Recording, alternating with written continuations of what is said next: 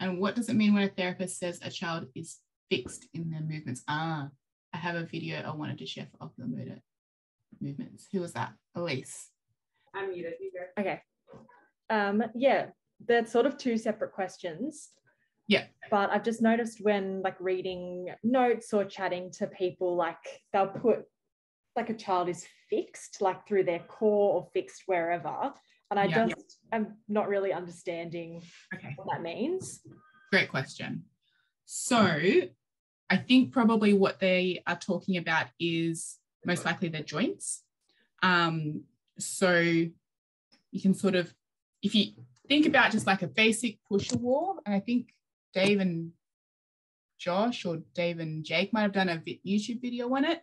Um, but essentially, if you're pushing on a ball and your elbow is locked, you're essentially sort of like leaning through your joints. You're not actively recruiting any muscle. Um, so if you then went to shake the ball that you're pushing on, the client would probably have to unfix that joint a little bit, and then Mhm. they're actively using their body. So often when we say fixing, we're really talking about the way that they're compensating, the way that they're using their joints to achieve a movement. And they're usually still achieving it. It might be with poor quality, they might not be actively engaging um, their, their muscular system, um, but they're still often somehow doing it. Does that sort of make sense? Yeah, no, that's good.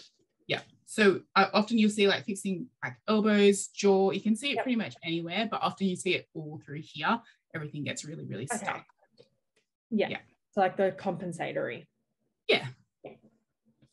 Cool. Yeah, it's a funny. Actually, that's probably a really funny thing to see in notes because um, fixed, and it sounds like they're fixed, but it really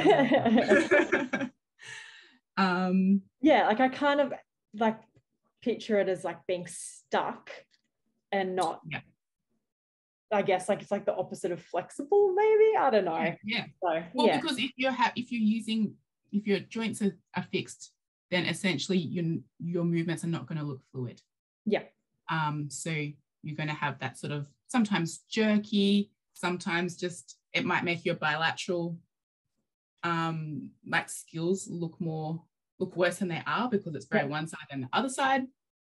Um,